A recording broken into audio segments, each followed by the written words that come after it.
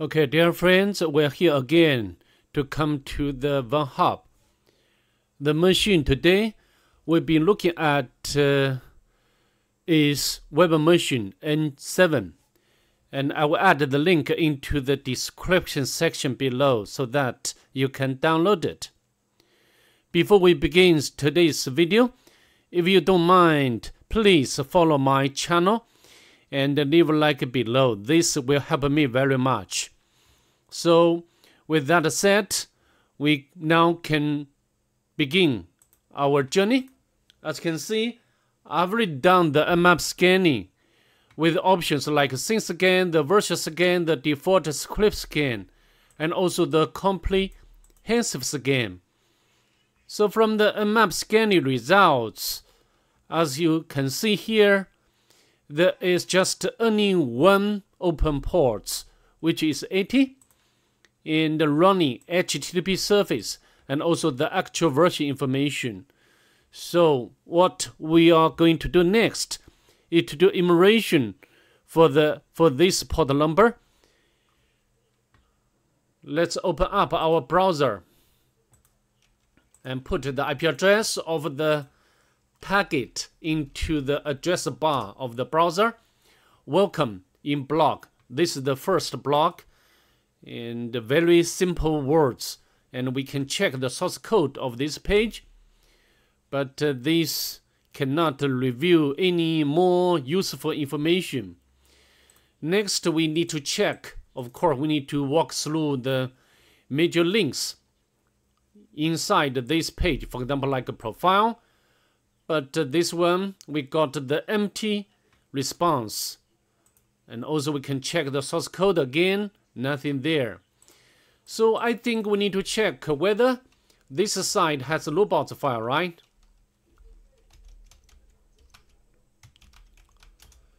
But not found which is fine. Then we need to use the Ligto to do some enumeration. For example, like um, mis misconfiguration, some vulnerabilities, or some common files or directories. So this is a very important tool for the web application enumeration. But uh, this time, we cannot get uh, any useful information. Next, we need to use the GoBuster to do some directory immersion. Yeah, IP address is correct. And as usual, I'd like to use the word list of GoBuster and directory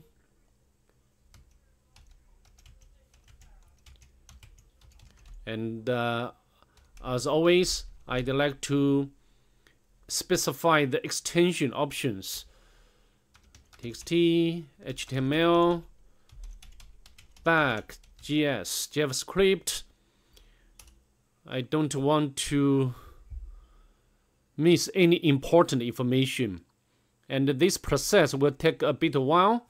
Oh yeah, we have already got the, this one. I think uh, we need to check this file manually. So we can go back to our browser Let's visit this one. And we need to upload the file. Of course, uh, before we move forward, yeah, this machine doesn't uh, want us to to to get the root privilege or re retrieve the root flag. We the only thing we need to do is to get the entire flag. Okay. So now we can go back. We need to prepare some sort of files like um, the reverse PHP reverse file. And we can copy from the my two sets. And we need to make some modification to change IP address to the our Kali Linux and uh, I think uh, I this machine do not need doesn't need we do not need to yeah get a shell at all. We just uh, have some sort of file, any files ready. Now we can go back to our browser and uh, go to our working directory, which is web machine, and click open, submit, but enable connect. So we need to make a de detailed check on this one. We can check the source code.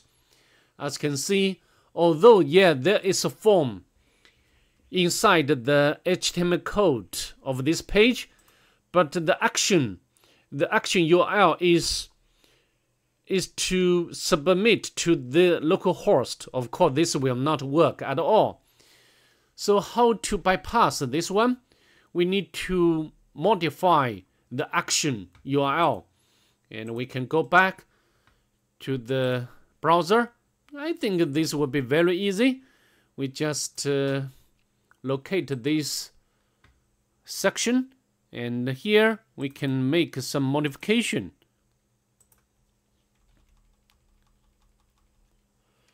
to the target IP address, right? Okay, now we can submit. Yeah, we got the first part of this flag. Okay, so what we need to do now, we need to do some more immersion. We need to find out uh, another important directory the name is enter network. But to be honest, I used so many different word lists. For example, inside the second list or the default word list inside the Linux, but uh, all failed to to find this directory.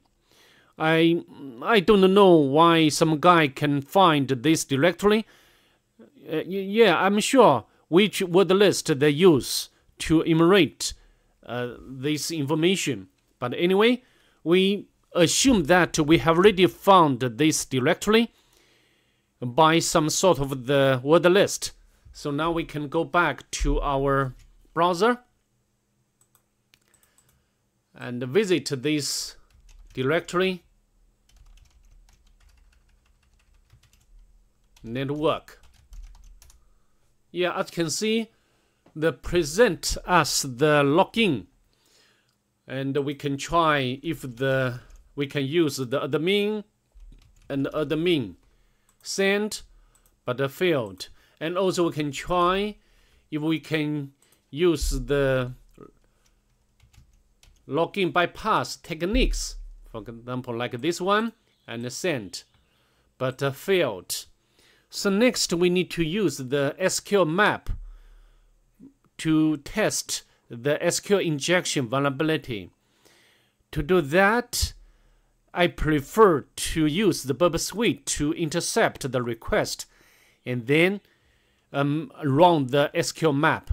I show you.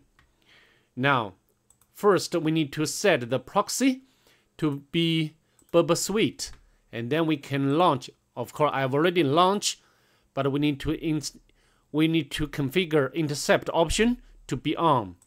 Now we need to launch or trigger the request again.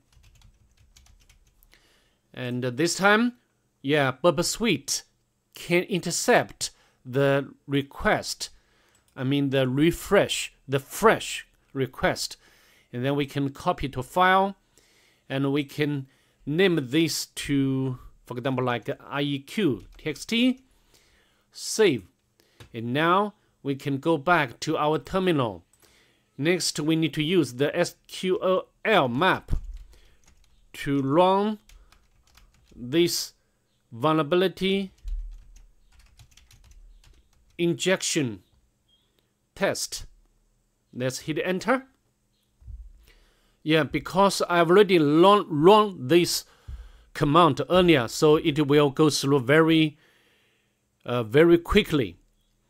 But uh, if you if you do this, yeah, you will take it will take you very long time.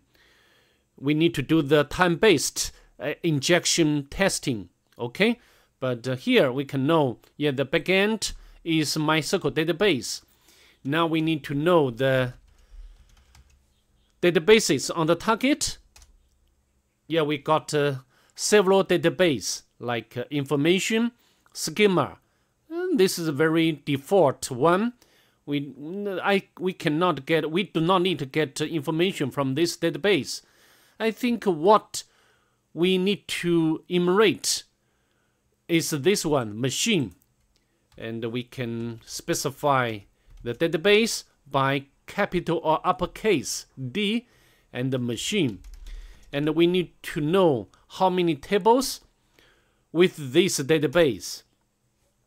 Yeah, we just uh, only one table, which is fine. And then we can, yeah, can to know how many columns. You know, maybe we we are not interested in some of the some of columns. So we need to know the this information, the three columns for this table, and now we can specify. Of course, I I want to dump all uh, data of these three columns. Let's hit enter. Yeah, very quick. But I can tell you when yeah i'd like to mention again if you do it yourself it will take you a very long time okay maybe maybe 30 minutes so i, I so far as you can see after we dump the data from the, the table of login we can get the flag. The i think this is the entire flag. So that's pretty much it. I hope to see you in the next one. Bye. Have a a good day